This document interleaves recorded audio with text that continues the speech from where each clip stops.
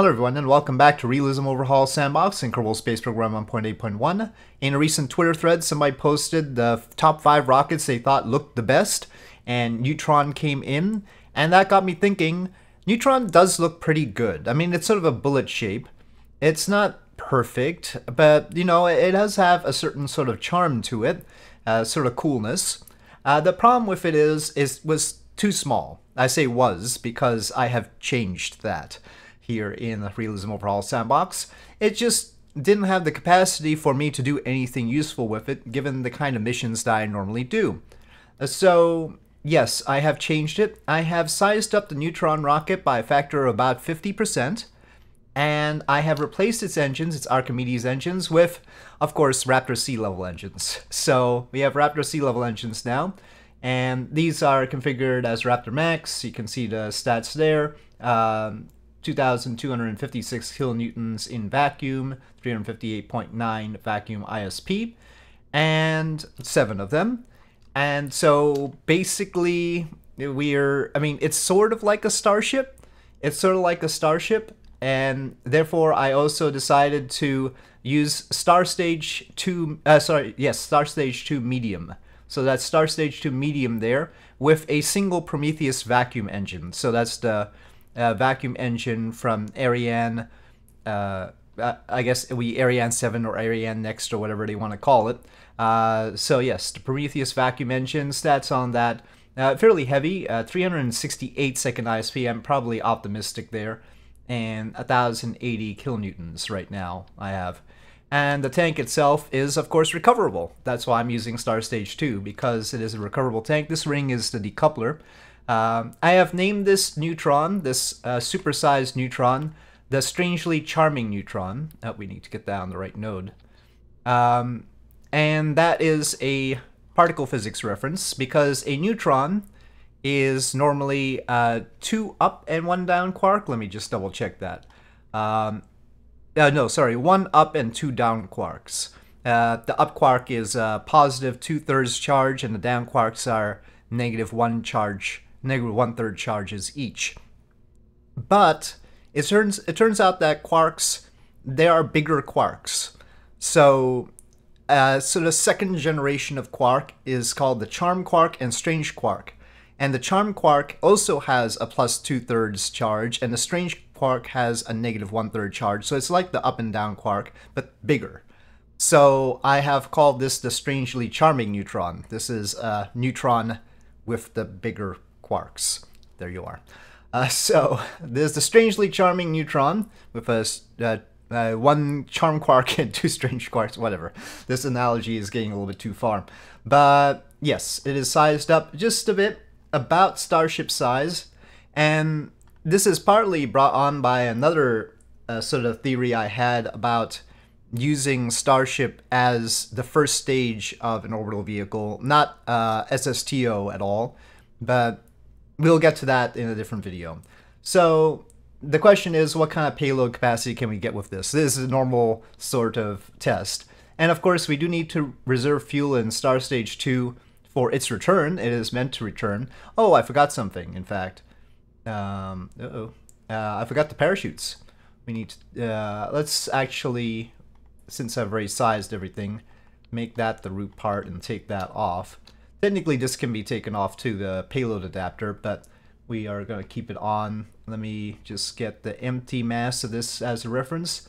So 13 tons. The engine is sort of sticking out. This was originally meant to have four engines in there, but I don't uh, I don't have an engine right now quite suited for it. I need to develop a little bit of a better engine for this purpose. Uh, yeah. I mean, it'll have to be an engine that doesn't exist because they don't really have. I want uh, basically four 200 kilonewton engines to fit in those slots. Or maybe 150 will do, but there isn't such an engine as far as I know. Unless the landing engines for Lunar Starship on the moon, if they ever give us the stats on those, those could be possible. But uh, they might not be very, well, they should be vacuum efficient, but who knows. Okay, so yeah, all sorts of questions. Uh, let's just get these parachutes on. So yes, a 7 minute burn time for this upper stage. uh, the burn time for the neutron itself is at three minutes if I can get it at the right node. The three minutes. There we go. Uh, three minutes and then we'll reserve the rest, I think, for its return. So closing the fairing and let's see. Let's not have the parachutes immediately go there. I'm not going to try and land the Neutron yet. That'll be for a later date.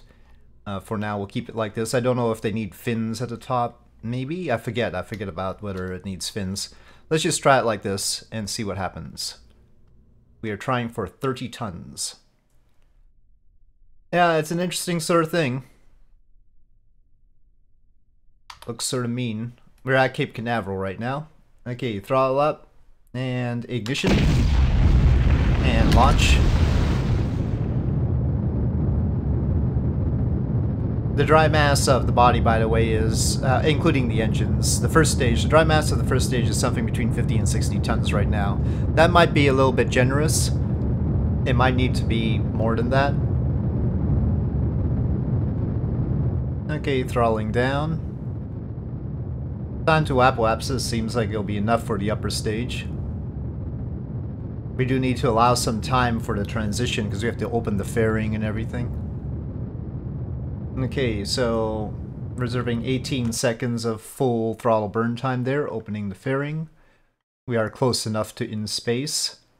Okay, separation. And uh, I guess I better ignite now. But we need sort of more robust separation there. Okay. Now let me just see how much delta V we have in here. 2,600 is probably not enough. This thing is... Oh, we have an imbalance in methane oxygen. Hold on, hold on. I had a different fuel mixture for the Archimedes engine versus the the SpaceX Raptor engines. So yes, let's fix that. Oh, so we have more performance than I was expecting. Well, uh, yeah, we better better fix that. We need the performance to land. We can't be carrying all that extra methane, can we? Yeah, there's two different fuel mixtures here. Okay, is that good? Is that too much? It's a bit too much right now. It's too heavy. But we don't need that delta V either. Okay, let's just make it those numbers. Oh, that gives us more burn time. I don't really want more burn time. um, Yeah, I'd rather have the extra thrust weight ratio than more burn time. So I'll cut that down even more. The maximum volume on this is the actual volume that it can contain, uh, given 86% utilization or something like that. Uh, so we can underdo that. It's just that I can't carry more than what I've configured it to be able to carry.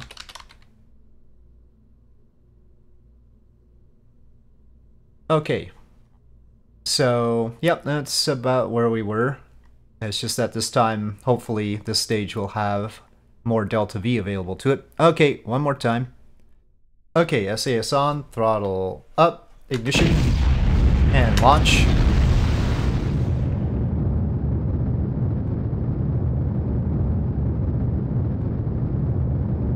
So really, in a way, this is acting like a competitor to my own Orion 3 space plane.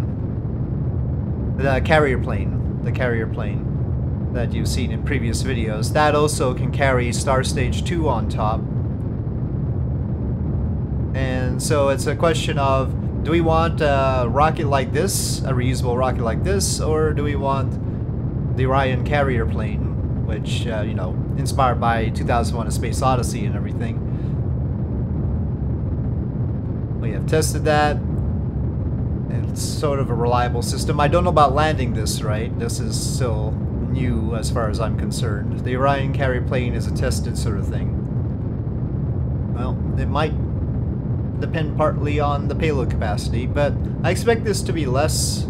I don't know, but I mean, the Orion carrier plane has a lot of structural mass. But then this also has to maintain some fuel for the boost back burn and everything. That the Orion carrier plane doesn't have to do. In fact, I took off the jet engines from it too. We didn't even need the jet engines. Well, though it might be preferable in like a career mode situation. Just for safety's sake. Well, let's see what 18 seconds gets us this time. Okay, 18 seconds and open fairing. And eject and I'll have to start the engine already. Uh, I'm sure they'll have a better ejection system and everything. Okay, and then pop back to see how much delta V. 3,331. I mean, for a for a barge landing, that'd be fine, but it can't possibly cancel out the surface velocity and get back like this. Um, we're gonna have to reserve more fuel, I think. Well, let me just see, what, what kind of structural mass do I have on this? I mean, yes, I mean, look at that, 136 tons there. The tank is only 41.63 uh, tons, so it's fairly light, I mean, as far as those things go.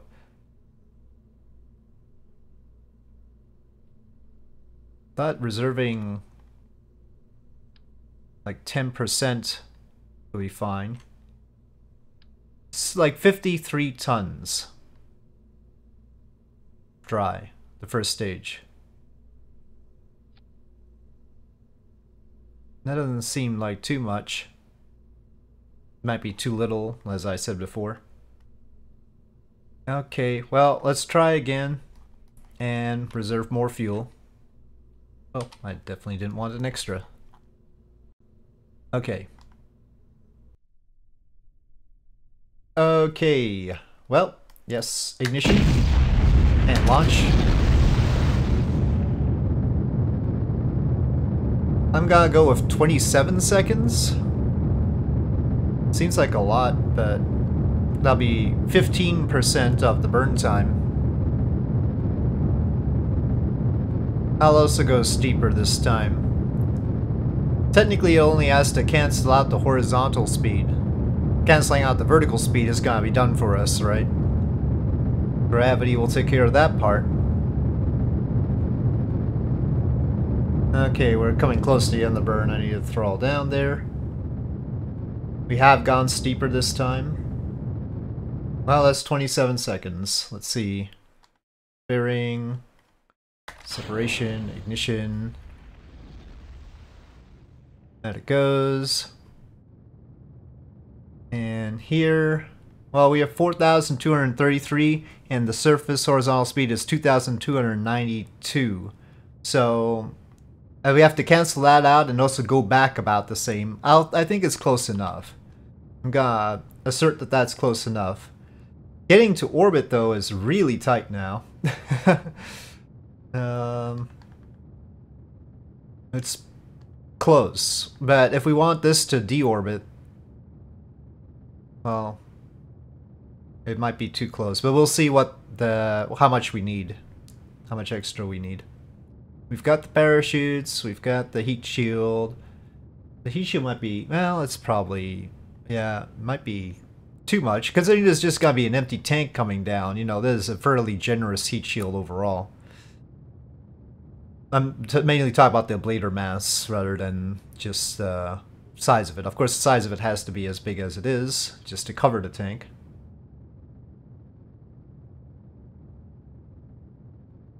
So again, this was with 30 tons. Okay, well, we're definitely not in orbit. Uh, we had our vertical speed controlled. We need 400 meters per second minimum, and then to bring this back down, maybe uh, another 150. So 550 meters per second. Let's see what size we have to make the payload in order to make that happen. But this isn't looking great right now. I mean, we could size it up more and put nine engines on here instead of the seven. I mean, uh, whoops.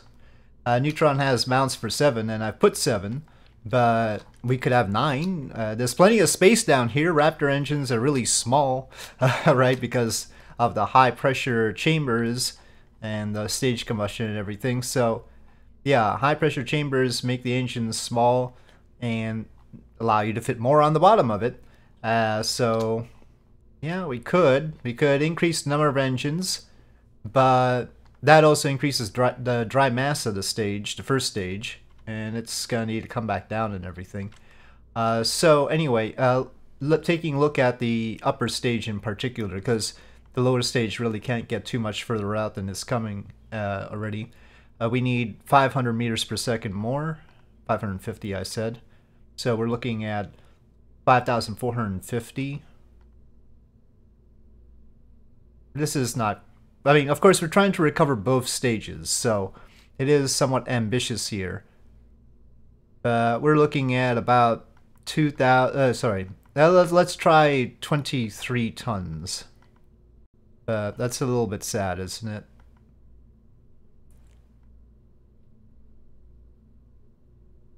I guess we'll get a little bit more from the first stage. 23 ton, well, hold on, let's reroute to the payload and see what's going on. Uh, boop. How much is it? 23 tons. Alright, well let's just try it to get a definitive answer on this thing. Now with the Starship as a first stage idea, I was planning to launch it out of Boca Chica and land it at Cape Canaveral so there would be no boost back burn. It would continue flying forward and come back down at Cape Canaveral. In that case, it wouldn't have to reserve quite as much fuel, and that was the plus side to that. We could potentially do that with this as well. Uh, just, you know, try and make sure it goes all the way across the Gulf of Mexico. I, I don't know if NASA would approve the fact that it's got to be coming back down across Florida. Um, the citizens of Orlando right here might have an issue, but uh, yeah, it's tough to find a good pair of sites that would be compatible. It's possible to go up the coast to Wallops, uh, it's not quite the same distance. That means the less the distance is, the less the first stage can do for us, right? Because if it tries to overextend, it'll need to boost back again. Anyway, ignition.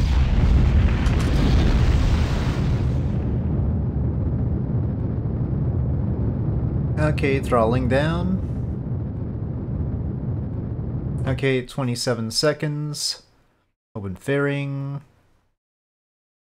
and separation, ignition, at low throttle, and then throttle up. Okay, so that's going. And here we have 4,200, same same sort of deal, so no big difference there as far as the relationship to the delta V we have and the horizontal speed.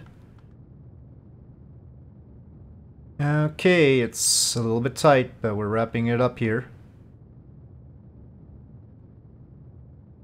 Okay, that's already enough for me. Okay, and that's the payload adapter. That's what we want first. Okay, separation. Okay, the payload is off. Actually, we have extra because I forgot uh, we, we were calculating the amount that was necessary to come back down with the payload on it instead of without. So we've got 268, which is plenty. We could probably get a little bit of a higher um, higher periapsis, rounded out a little bit better.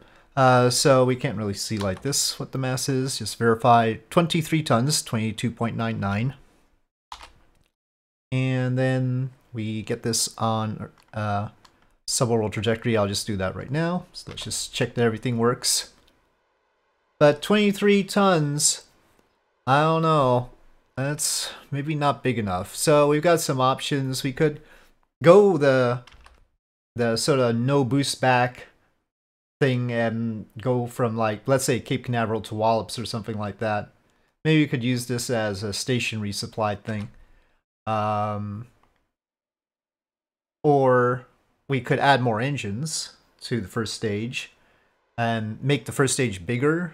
Uh, well, we had some spare volume available. So if we add some more engines to the first stage instead of just the seven, we could use the spare volume and get more delta V like that. But then that leads to first stage getting further out. So the problem is the second stage being shaped like this, it can't really be any bigger and still fit inside the top of the neutron rocket, right? Uh, we were sort of limited by how big this can be. And of course, um, yeah, we can't use hydrogen and oxygen because that will make this bigger. You would want denser fuels, if anything, but then you get a efficiency hit from that. It's amazing how little fuel it takes to give this when it's on its own, the delta V to orbit, but... Oh, okay, that's too much. Actually, it needed less than I thought, huh? Uh, okay, prograde. Actually, let's go normal, get rid of that payload adapter first.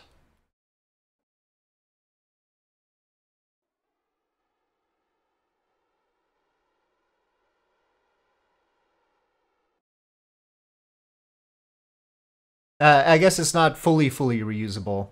The payload adapter is is uh, expendable.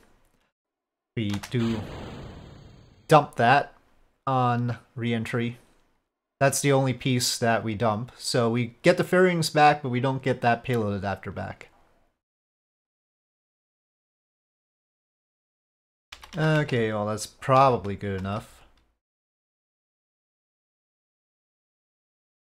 And it'll be in the dark. Okay, we are going through the reentry part. Interesting decision by the game, game of where to put the flame effects. It really likes these little gaps. tossing out flames from those like there are engines that are burning. But that actually has nothing to do with the thermodynamics.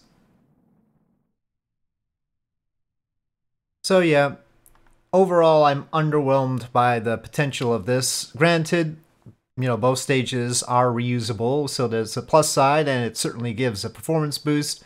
We're only scaling the body up by about 50%, though that is a rather large rocket physically um, because of the way it tapers.